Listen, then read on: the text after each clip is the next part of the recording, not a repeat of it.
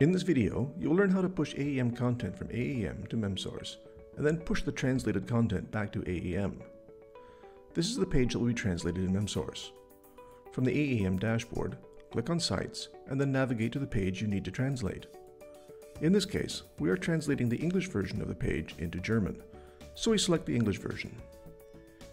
In the References section, click Language Copies and create a new project.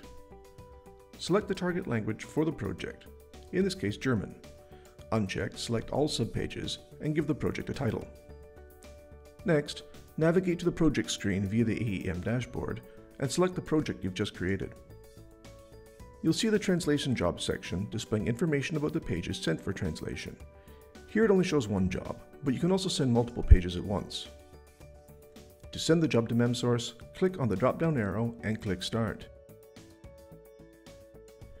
If you refresh the screen, you'll see the status change from draft to committed for translation, and then finally translation in progress. If we switch over to Memsource, you can see the new project in the project list. The project will contain the main translation job and the metadata file, which is empty so it can be ignored. You can pre-translate the job by selecting it and clicking the pre-translate button. This can also be automated as part of your workflow. Once pre-translated, open the job in the Memsource editor. The preview will appear in the preview pane. If you select a segment, the relevant section of the text in the preview will be highlighted. This also works the other way around. Selecting a section of the preview highlights the relevant section. For the preview, you can switch between the source and target languages by selecting Tools, Preview.